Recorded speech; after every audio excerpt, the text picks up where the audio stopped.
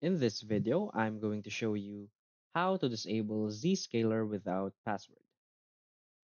So please watch the video until the end and follow this tutorial step by step to avoid making mistakes. So let's get started. First, you want to go to your search bar and type in Windows Update Settings. From here, just click on Windows Update Settings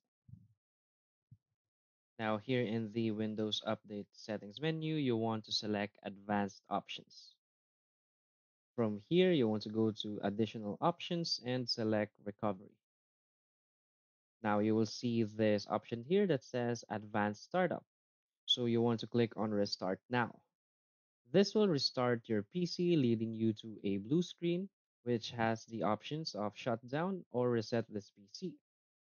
What you want to do is select troubleshoot now you want to click reset this PC. Then you will be prompted to choose whether to keep all of your files or delete everything in your PC.